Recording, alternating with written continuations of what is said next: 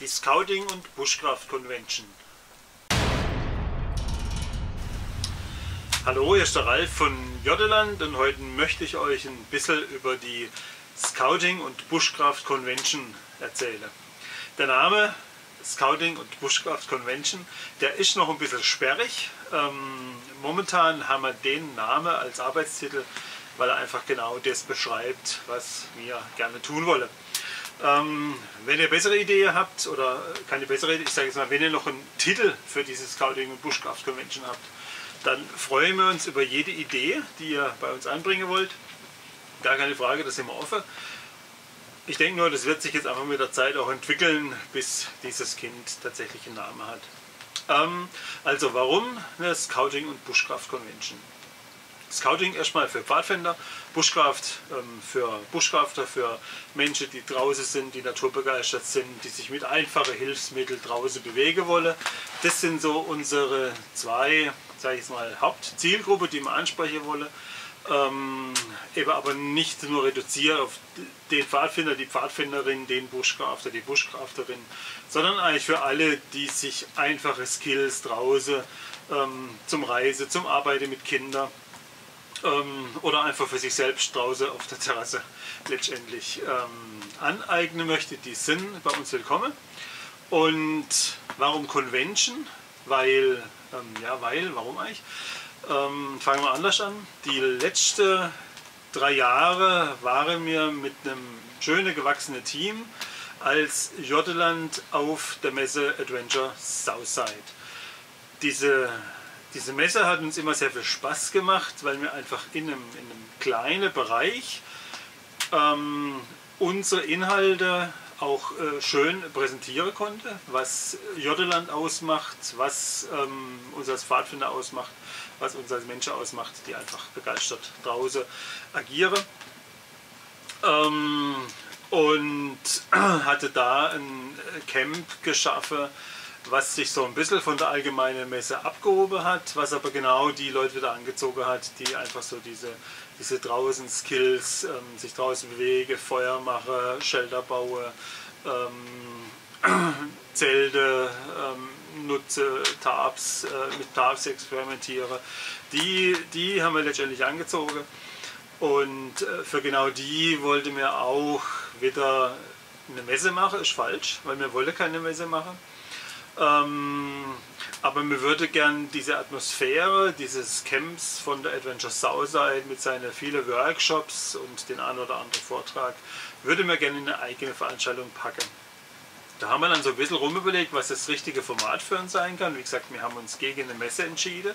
Wir haben uns aber auch ähm, gegen ein, ein, einfaches Treffen oder Zeltlager oder wie man es nennt, Bushcraft Camp oder so ähm, dagegen entschieden, sondern wir wollen so eine Mischform fahren. Also wir hätten gern, und das trifft der Begriff Convention eigentlich relativ gut, wir hätten gern eine Veranstaltung, wo jeder von jedem lernen kann. Das heißt, mir als Jodeland oder auch das Team, was jetzt eben über die Adventure Southside bei uns gewachsen ist, wir würde mit, uns mit unseren Inhalt einbringen, wir würde Workshops anbieten, wir würde ähm, Vorträge anbieten und äh, wir laden euch ein, genau das gleiche zu tun. Das heißt, ihr könnt einfach als Teilnehmer kommen und von diesen Inhalten profitieren. Aber was uns doch viel lieber wäre, wäre, wenn ihr als Teilnehmer kommt und auch Workshops anbietet oder Vorträge anbietet.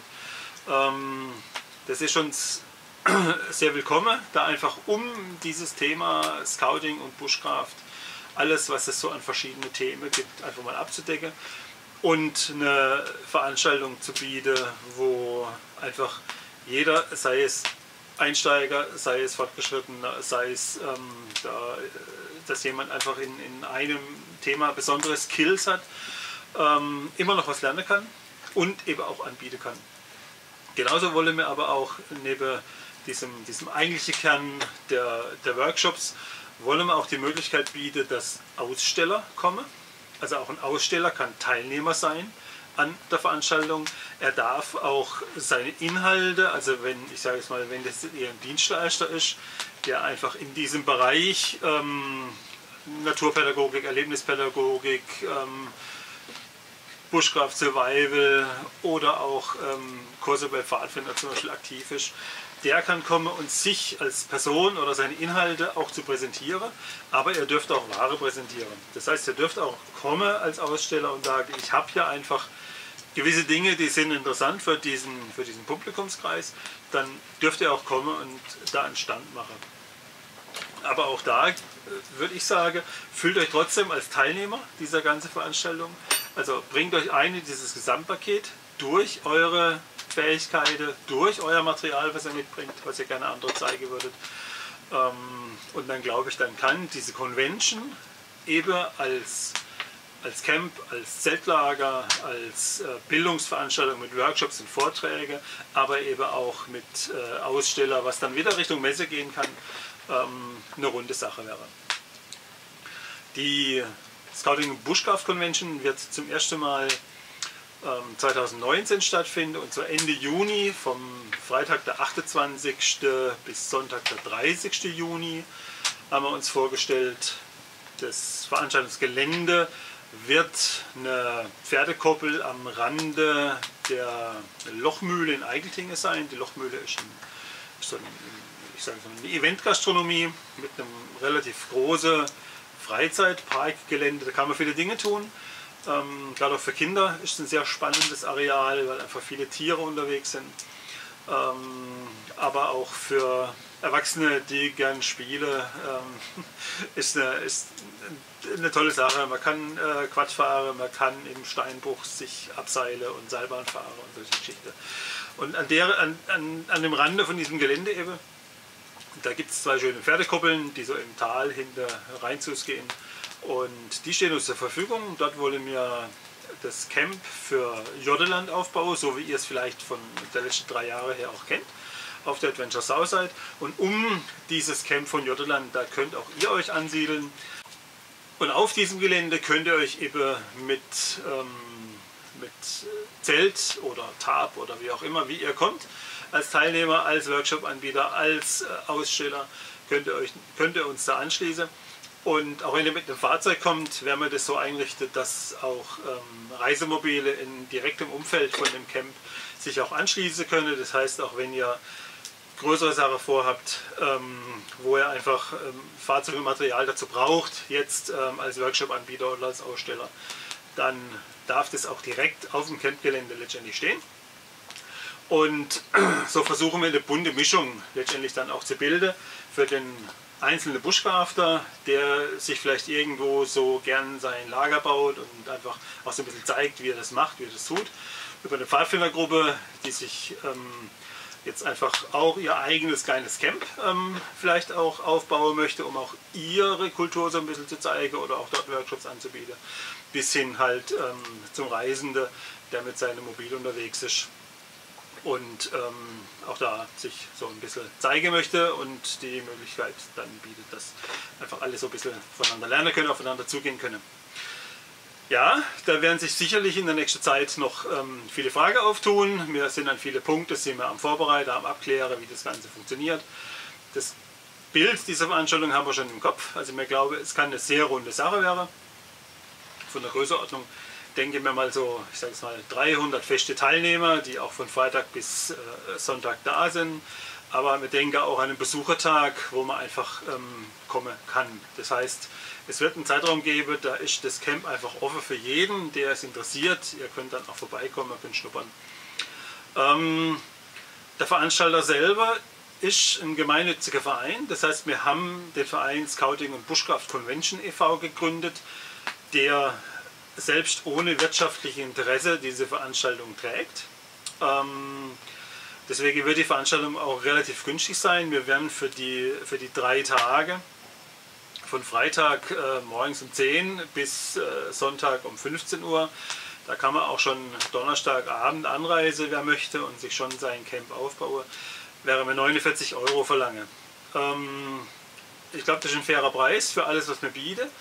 Wobei ihr bedenken müsst, das ist Selbstverpflegung. Das heißt, wenn ihr kommt, müsst ihr euch auch darum kümmern, dass ihr selber was zu essen bekommt. Es wird sicherlich verschiedene Workshops geben. Da geht es auch ums Essen. Da kann man vielleicht auch mal Mittagessen abgreifen. Ähm, diese Workshops, da wird wohl noch ein Materialkosten-Obolus dann auch fertig sein, wenn einfach, ähm, einfach die, die, die Materialien, die man verwendet, einen gewissen Wert haben. Dass wir das ähm, so auch durch die Workshops auch finanzieren können. Aber die Veranstaltung selber kostet euch 49 Euro für drei Tage und bis zu drei Nächte. Wenn ihr nur tagesweise kommen könnt, das heißt, wenn ihr nur samstags kommen wollt, dann könnt ihr das tun. Auch da wird es Tagestickets geben für 19 Euro. Auch für diese 19 Euro gilt Selbstverpflegung, aber ihr könnt auch da noch eine Nacht übernachten ähm, und dann am nächsten Morgen dann auch äh, abreisen. Wenn ihr, ähm, ihr könnt auch zwei Tage bleiben, sprich Samstag, Sonntag, das sind dann einfach zwei Tagestickets, aber spätestens da lohnt sich dann auch bald schon.